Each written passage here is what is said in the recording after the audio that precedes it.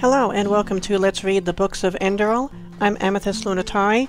Today I'll be reading The Prudent Boy and the Righteous Path, which I found here in Erbgoth's Leather Goods in the Ark Marketplace.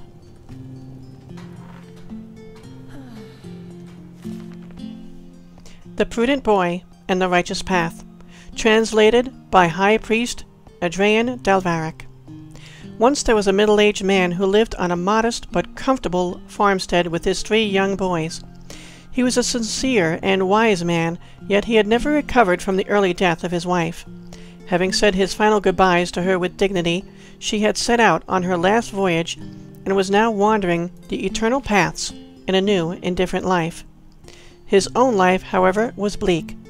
Neither the sight of beautiful men and women nor the soothing words of the priest from the village's chapel located not far from his farmyard, could warm his heart. One night, as he was starving and sleeping with his three very young lads in his barren house, he raised his hands frantically towards Ark, where, according to the will of Malphas, the Holy Order reigns in the stony halls of the Sun Temple, caring for his followers. From my first step in this world up to this very moment, I have stayed true to the path, Lord. I have fulfilled my destiny, built a farmstead, and married Marga. I did what my mark demanded me to do. Yet I stand here now, and I am alone. I am suffering and cannot ensure a pleasant future for my children. If only I had not come to this desolate plot of land, Marga would still be alive, and I would be the successful tailor that I always wanted to be. So Malphas heard the lament of the poor man. It filled him with sorrow to see one of his followers suffer, yet he decided to wait, knowing full well that this was the only true path. So the years passed by, and the man raised his three boys with sternness and fatherly love, but without teaching them about the path. On their sixth birthday, he did not take them to their consecration, where they would have received their mark and their destiny as is right and proper. The oldest of the three, Lucius, was an avid reader who, despite the hard work he had to carry out, had found the dusty tomes of the path, which his father had never read to them, and he understood he understood why his father had been granted such a grave fate, even though other paths had apparently been available. And so Lucius came to him one stormy evening in autumn and spoke the following words, which would lead the old man back once more into the protecting arms of the Lord.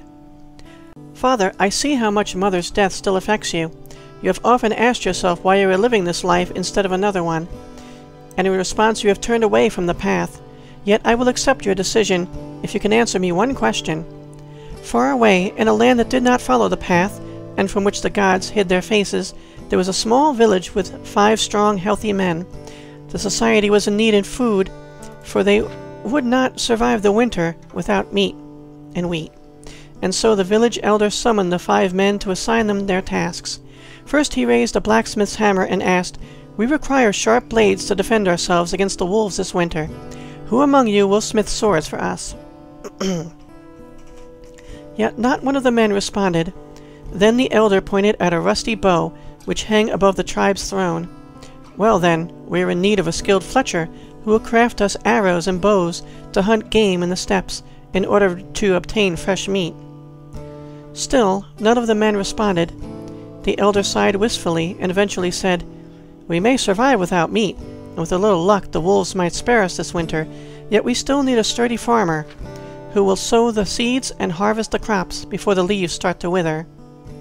Yet still the men remained silent. Finally, tears came to the old man's eyes.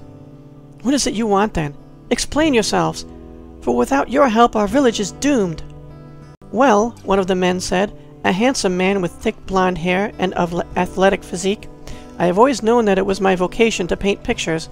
I feel it deep in my heart, and that is exactly what I will do, and nothing else. And so the village did not outlast the winter. This is what you have understood, Father. The well-being and self-fulfillment of an individual does not always come first. Unity and strength will never flourish in a society where everyone follows his own will and has his own opinion. Such societies will never stand the test of time. How foolish it is for us, O Father, to question our life night and day. We will never find any answers, for we do not possess the divinity of our Lord, who is doing everything to give us a fine life. Even when the path is difficult, we must pursue it, not for our own good, but for the good of all. And so the old man fell to his knees in awe towards Ark and asked Malphas for forgiveness with a penitent voice. He had realized the truth, for each creature born in these beautiful lands is entrusted with two duties, the first and foremost of which is to respect the gods and hold them in high esteem. Those gracious builders of our society who shoulder many burdens every day to grant us a pleasant life. The second, but no less important task, is remaining true to one's path, the pursuing of one's true destiny. Malphas's voice chimed from the stone halls, stirred by the man's sincere grief. His words were just to everyone, his faithful and unfaithful children alike. O children, apart from your path only darkness and mourning await you. Not that I am the one punishing you, but life itself is. Do not fret if your destiny holds less rewards for you than that of a high keeper.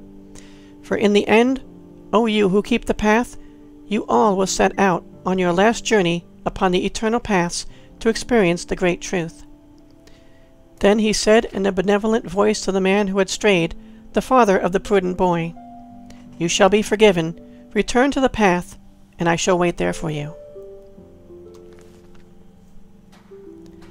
Thank you for listening to Let's Read the Books of Enderal, The Prudent Boy, and The Righteous Path.